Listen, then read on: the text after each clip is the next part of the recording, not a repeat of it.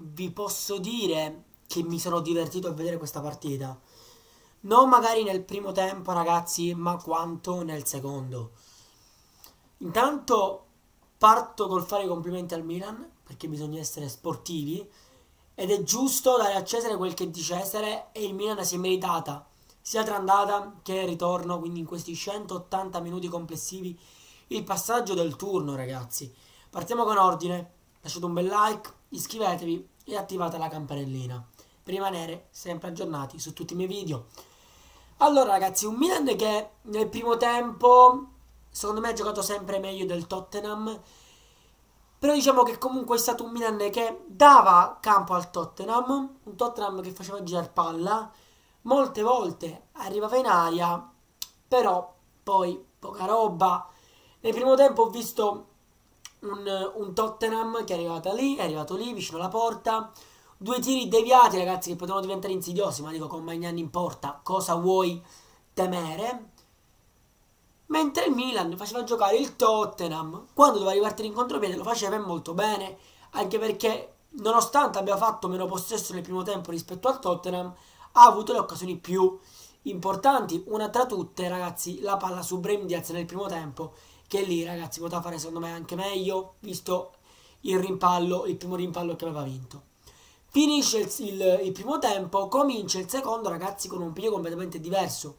Se nel primo tempo avevamo visto un Milan che dal punto di vista di occasioni aveva fatto meglio, ma aveva lasciato campo al Tottenham perché magari non c'era neanche il motivo sinceramente di scoprirsi, non c'era motivo di attaccare e rischiare di prendere gol, visto anche il risultato d'andata che li vedeva avanti per 1-0. Mentre nel secondo tempo, cioè, non solo ha giocato meglio il Milan, ma giocando in modo completamente diverso, facendo più possesso, mettendo anche al, alle strette il Tottenham buone volte. Sicuramente ragazzi poi la partita ancora di più è cambiata con l'espulsione di Romero ragazzi che lì sinceramente intanto bravissimo Lichio Hernandez sulla fascia ma lì ragazzi Romero secondo me è molto ingenuo ok che lasciandolo partire praticamente significava farlo arrivare in porta. Però è vero che lì ragazzi si vive di momenti, quindi magari quello che, quello che ti passa per la testa fai. Però pensando da esterno, da una persona che guarda, da un tifoso, comunque da una persona che guarda la partita, io magari avrei evitato il rosso e avrei rischiato di farlo andare in porta, sperando che magari c'è qualche compagno che lo fermo, il portiere che para, para il tiro. Perché lì poi, una volta l'espulsione, diciamo che c'è stato ben poco da fare. Comunque il Milan nel secondo tempo ha sempre avuto le occasioni più pericolose, ha avuto qualche tre tiri dal limite dell'area di rigore o addirittura praticamente a ridosso dell'area di rigore, sempre murati alla fine. Il palo ragazzi di Origi, che alla fine è stata praticamente l'ultima azione di questa partita, che praticamente fa... era il, è stato il quadro della partita, il quadro. Un Milan che attacca ma che arrivato lì non riesce poi a concludere. Il Tottenham alla fine ha avuto anche una bella azione, ha avuto una buona occasione con ehm, Kane di testa e con Magnan. E con Magnan. Eh sì, è con Magnan, ragazzi. Giusto, che sto dicendo? Giusto. È con Magnan che ha fatto una bella parata. Però, ragazzi, ripeto, nel complessivo, secondo me, ma penso secondo tutti, ragazzi, comunque per la gente che è sportiva, perché sono sportivo, passaggio del turno meritato, un Tottenham ragazzi che sinceramente ok a San Siro, ma sicuramente qui ragazzi in casa loro mi aspettavo un Tottenham diverso.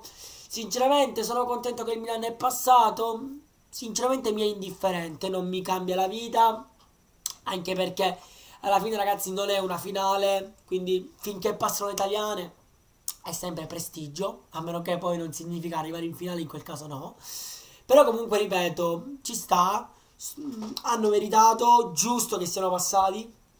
Tottenham sottotono.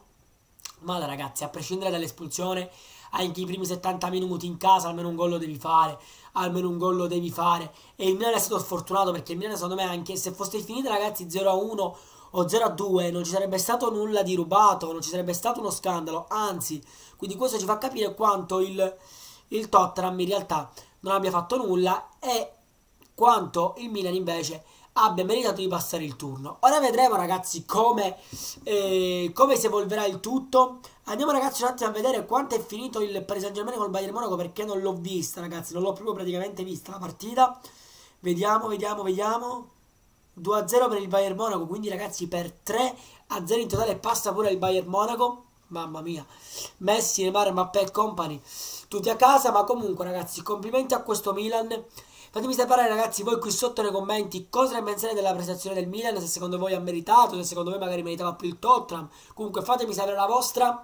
Inoltre, come vi ho già detto all'inizio del video, lasciate un bel like, iscrivetevi al canale, attivate la campanellina e ci vediamo domani con un prossimo video. Bella ragazzi!